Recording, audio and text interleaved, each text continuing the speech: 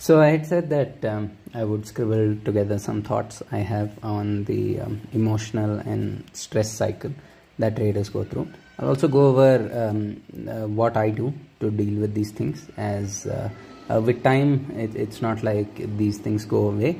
Uh, it is just a part of being in this business.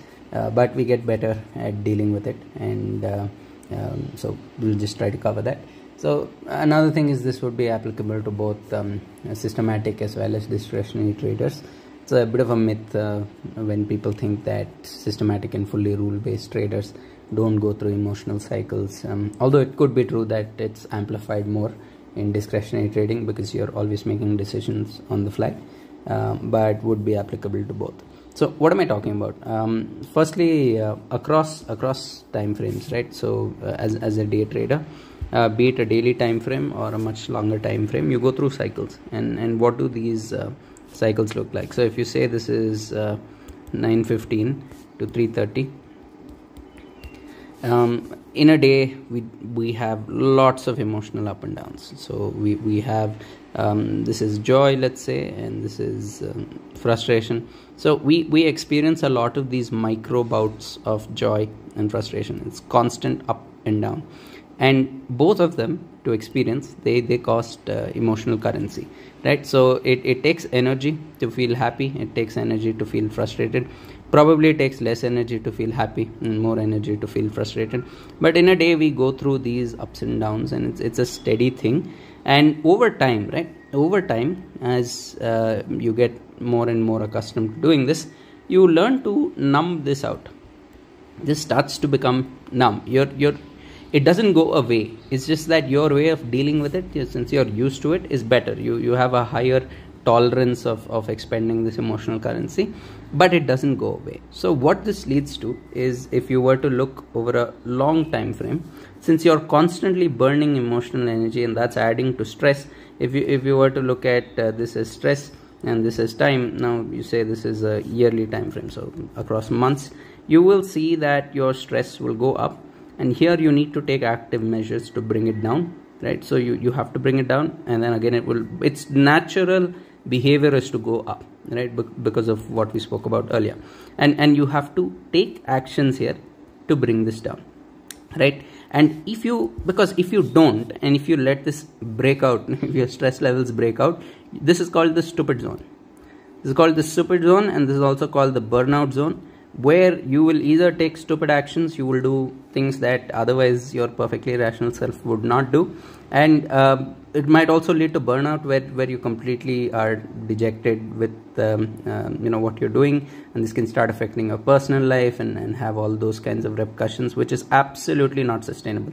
If you want to do this as a career if you want to do this across years and decades then they can then you can never afford to uh, go ahead. So I'll go into what I do to deal with this. One more thing uh, to address is um, many people think that uh, let's say somebody is used to an equity curve which is like this, right? So uh, it's going up in a steady fashion and maybe they're used to making quarter on quarter uh, profits and month on month profits.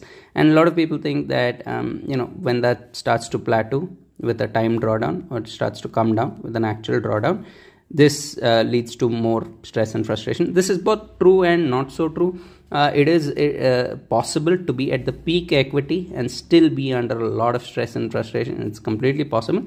But these two conditions they make it more relevant. So what, what, happens? When you are used to let us say somebody is used to you know running um, uh, a few kinds of trades mix of systematic discretionary and they're used to uh, making between 3 to 5 percent in a month. And let's just assume now, if this suddenly dips, they are more likely to feel like they are underperforming and hence be more frustrated. So this argument holds true and this probably is a catalyst in the in the stress cycle but it is not always true. You can be doing you can be at the peak and still be extremely frustrated.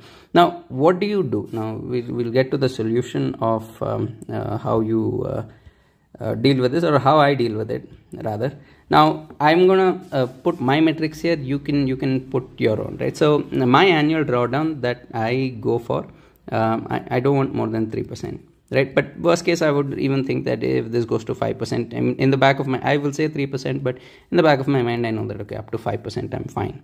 Now um, one way is that let us say um, i am peaking out in stress and i am reaching let us say between 2.5 to 3% drawdown during a year what i'll do here is the absolute best thing to do is turtle.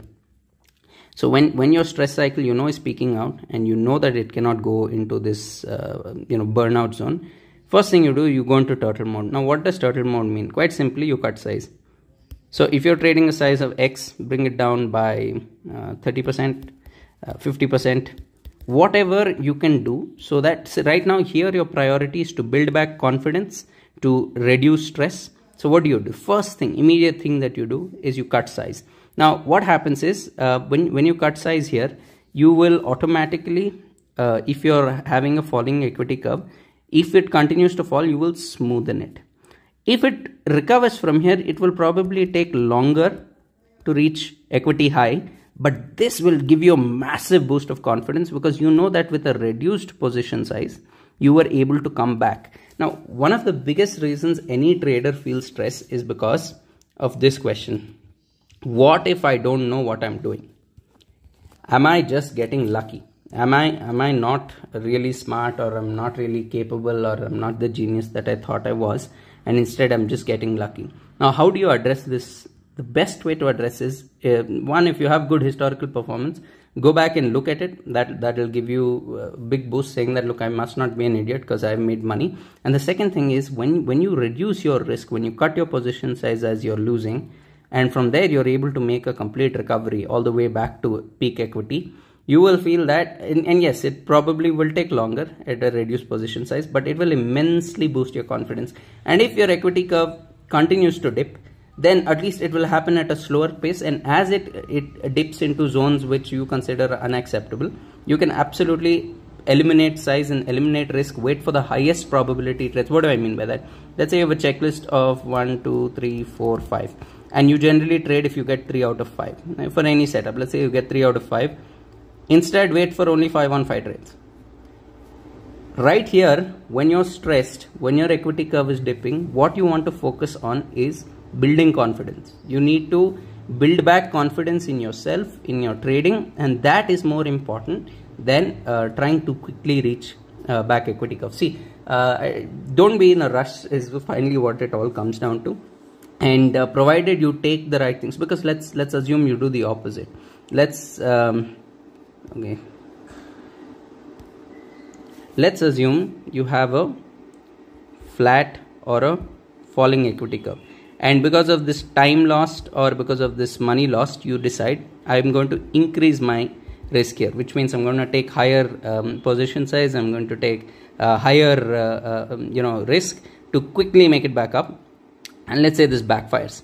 Then the confidence stumble that will happen here and the relative uh, peak in your frustration this thing this will completely destabilize you and you will break and this is the biggest mistake that people make. By breaking here you will lose confidence in yourself. And the only thing if any uh, that a trader has to protect um, across their career is their confidence and psychology. The moment a trader feels like i am gambling you will not be able to make money anymore. Because you have lost even when you get the right setups you will not be able to trade them.